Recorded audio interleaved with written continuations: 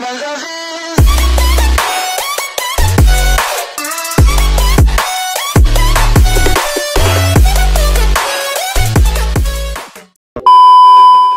teman-teman, apa kabar semua? Semoga kalian dalam keadaan sehat ya. Berjumpa lagi dengan saya Indah di channel Infani Trip. Hari ini saya akan memberitahukan kalian tentang tempat wisata yang menarik di Jeneponto, Sulawesi Selatan. Jeneponto merupakan kabupaten yang berada di Provinsi Sulawesi Selatan. Yuk, mari kita simak 5 destinasi wisata Jeneponto. Number 1.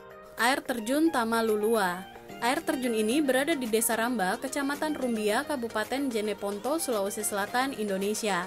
Dari kota Makassar ke Jeneponto dapat ditempuh dengan perjalanan selama 3 jam lebih. Air terjun ini adalah wisata andalan pemerintahan Ramba yang juga disebut sebagai air terjun Bosolo. Karena telah dikelola oleh pemerintah, maka para pengunjung akan dikenakan tarif retribusi bagi wisatawan yang berkendara roda 2, dikenakan biaya sebesar 2.000 dan roda 4 5.000 saja.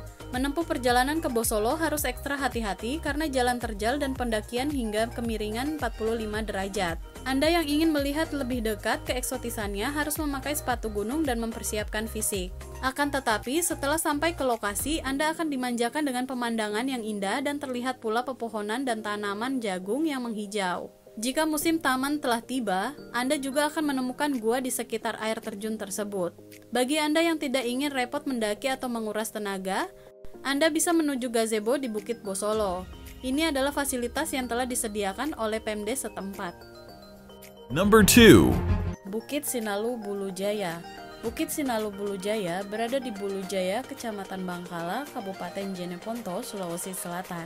Bukit Sinalu Bulu Jaya menawarkan pemandangan alam yang hijau dan suasana yang asri. Kalian akan disajikan dengan hamparan rumputan yang luas serta sebuah danau. Tak heran, banyak wisatawan yang datang ke sini hanya untuk berfoto-foto. Untuk masuk ke wilayah ini, pengunjung akan dikenakan biaya sebesar 5.000 per orang. Kalian bisa leluasa bermain dan menikmati pemandangan di sini karena belum banyak orang yang tahu akan keberadaannya.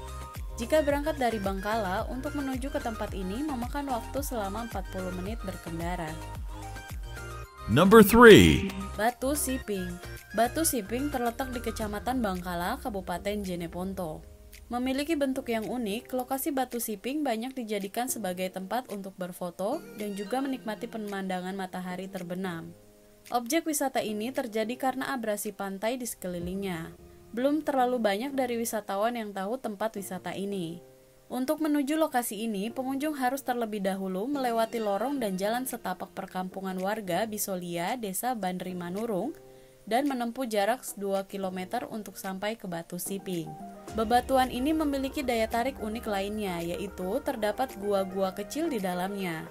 Anda bisa masuk ke dalamnya untuk melihat ruangan sempit yang dulunya sempat dipakai saat agresi militer kolonial. Dan tempat ini juga tandus, tidak ditumbuhi banyak pohon, sehingga tampak cukup gersang dan hanya ada gugusan batuan. Number 4. Danau Bulu Jaya Danau Bulu Jaya tak sebesar danau kenamaan di Indonesia, namun tetap wajib kamu kunjungi.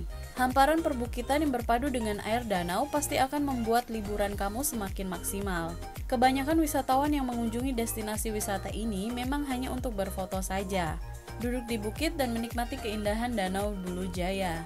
Lokasi Danau Bulu Jaya berada di Jalan Bulu Jaya, Kecamatan Bangkala Barat, Kabupaten Jeneponto, Sulawesi Selatan. Number 5. Lembah Hijau Rumbia Lembah Hijau Rumbia yang dikenal sebagai destinasi wisata alam yang memanjakan mata. Lokasinya berada di atas ketinggian mencapai 1000 mdpl yang terletak di kawasan Dusun Boro, Desa Tompo Bolu, Kecamatan Rumbia, Kabupaten Jeneponto, Sulawesi Selatan. Lembah Hijau Rumbia sendiri termasuk sebagai desa wisata yang dihiasi bangunan dan pohon bambu. Dengan cirinya tersebut, warga sekitar turut menyebutnya sebagai kawasan Lembah Hijau Rumbia Kampung Bambu.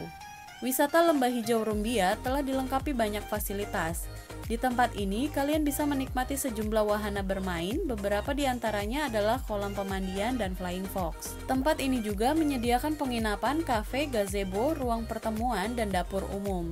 Selain itu, terdapat pula area berkemah atau camping ground untuk para pengunjung yang datang. Sebagai pengunjung, kalian nantinya akan dibebankan harga tiket masuk sebesar Rp10.000 per orang. Harga tersebut akan berubah ketika akhir pekan menjadi Rp15.000 per orang.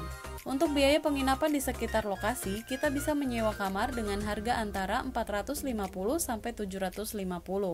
Pilihan ini bisa disiasati dengan memilih berkemah yang dipatok dengan harga lebih murah yakni 50.000 sampai 380.000.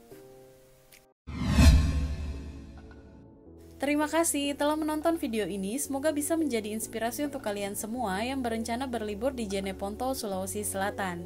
Jika kalian suka dengan tempat wisata di video kali ini, jangan lupa like, komen, dan subscribe, serta nyalakan loncengnya agar tidak ketinggalan video terbaru dari channel Infani Trip.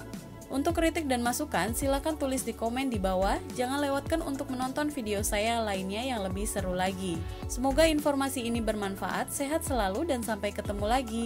Bye!